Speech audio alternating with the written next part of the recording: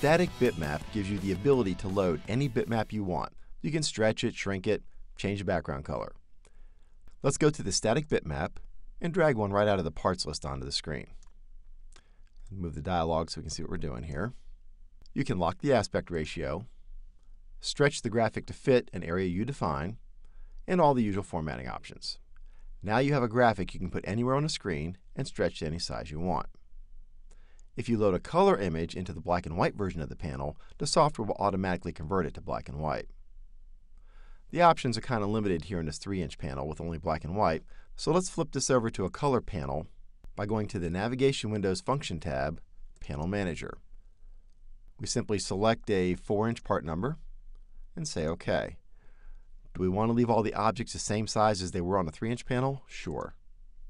And here's our 4-inch panel. We can either create a new bitmap or we can just modify the one we have on the screen. Let's do that by double-clicking. We hit the disk button and let's replace that graphic with something a little more colorful. How about a nice big red no button? Again, you can lock the aspect ratio, stretch it to fit. You can even set a transparency color. Let's do that here just so we can see what that looks like. We're going to set the transparency color. Let's pick this white right in here and see what happens. Say OK. And as you can see, when I move this around the screen, very little of the object is transparent. In fact, just this little bit right here and right there. The reason for that is if you look closely at the object, very little of it is actually white. So you need to be careful and use the transparency option. We're going to go back and turn that off because we really don't want it here. Now there is no transparency on this object. Let's make that bigger so we can see it and hit Simulate. Save the project.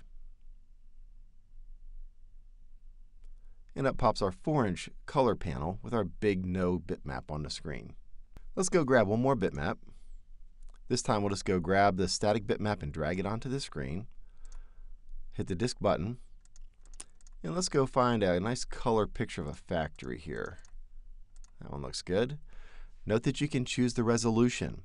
We're using the high resolution right now, but if you're tight on space, you need more memory in your panel, choose the low res version. It'll save you a lot of memory in your project. We'll stick with the high res version on this one. Say OK. Uh, let's not lock the aspect ratio and let's not stretch to fit. We'll turn off transparency and see what happens. Now, because the, the original graphic is so large and we didn't stretch it to fit the box, it's really hard for us to get the whole thing on the screen. If we go back and we lock the aspect ratio and we stretch it to fit the area we define, now we have a factory that stays the same size as the box we define. The aspect ratio is also fixed. No matter how, many, no matter how big I make the box, the aspect ratio of the factory stays the same. Note that you can change the order of these images using these tools right here. I can take this image and I can push it to the back, bring it to the front, all the usual stuff. This can help create great effects by putting static bitmaps over bar graphs, for example. Just leave the center of the graphic transparent and place the bar graph behind it, like in this example screen here. Here's a graphic of a container with a bar graph on top of it. Here's another graphic of a gauge with an analog meter sitting on top of it. If you want to take one of these stock images and edit them, you'll find them in your C-more Micro software folder under User Graphics. Feel free to make copies you can modify however you want, but make sure you save them to a new name so you don't overwrite the originals. One final note, make sure your custom bitmaps are pre-sized before placing them in the library. It'll save a lot of memory on the panel, and you will have more control over the quality of the image if the panel doesn't have to resize them. That's it for this video. Be sure to check out all the other videos in this series. And as always, please send us any topics you would like to see covered, or any other comments for that matter. We appreciate the feedback.